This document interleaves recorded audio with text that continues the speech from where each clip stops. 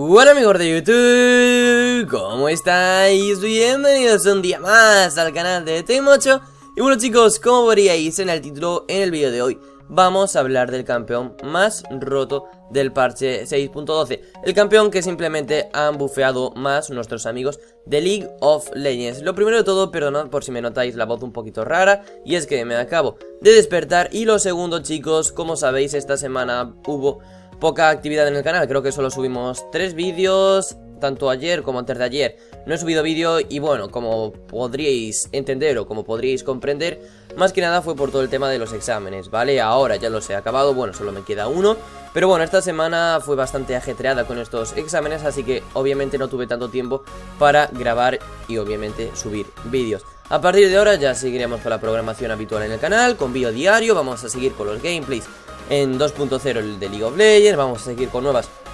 cosas que os tengo preparadas. Pero sin más chicos, vamos a comenzar con el vídeo de hoy hablando del campeón más roto de la versión 6.12 He querido esperar un par de días más que nada para ir viendo cómo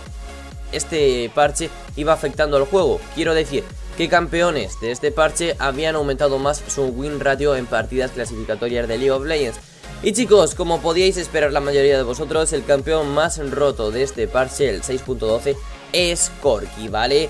Corki es un campeón al que le han reducido el enfriamiento del W, como sabéis, en primeros niveles drásticamente, pasando de ser de 26 a 20 segundos, ¿vale? Es una auténtica locura, como os dije, sobre todo para el tema de tradeos a primeros niveles, para el tema de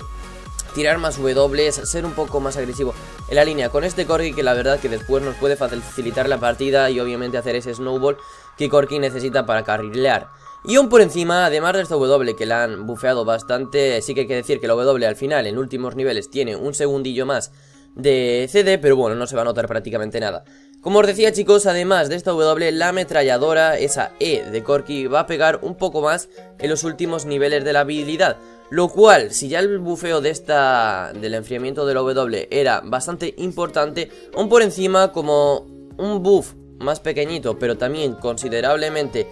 eh, que van a poner esta campeón un poco más roto, la E, como digo, va a pegar un poco más en los últimos niveles de la habilidad. Como veis chicos, no hay que comentar mucho más de este campeón. Si visteis el vídeo de las notas del parche de 6.12 en cuanto al tema de campeones, veríais que es un parche en el que había, que eran 6 campeones, 7 como mucho, entonces obviamente no se pueden sacar muchas conclusiones, no va a haber cambio de meta obviamente con este parche, prácticamente no hay ningún buff, solo el de Syndra y de Shinzao, si no me equivoco había el nerf